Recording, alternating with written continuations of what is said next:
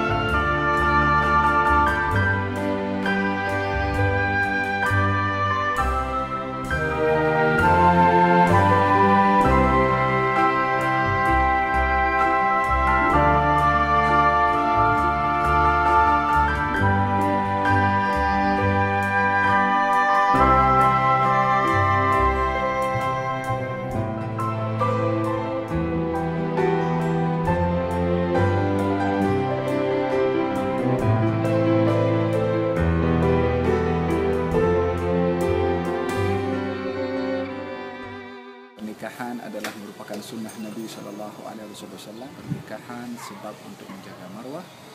Pernikahan menjadi sebab untuk mendapatkan ketenangan, rahmat dan juga kasih sayang.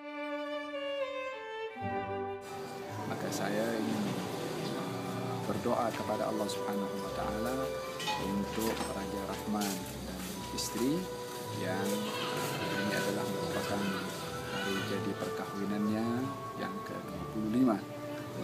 Apa yang menjadi rahasia kepada perkahwinan yang diletakkan oleh Allah Subhanahu wa taala di dalamnya pada eratnya hubungan mudah-mudahan semakin erat.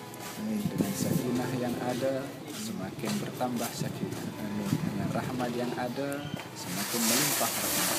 Dan mawaddah kasih sayang yang ada semakin tumbuh subur kasih sayang. Amin. rezeki yang ada semakin bertambah barakahnya dan juga bilangannya insyaallah. Amin amin mudahan uh, menjadi pasangan misali uh, dan diberi keharmonian di dalam hidup insyaallah. Dan mudah-mudahan mendapatkan uh, rahasia perkahwinan itu di dunia dan juga di akhirat. Amin Allah taala alam. Amin. Allahumma amin. amin.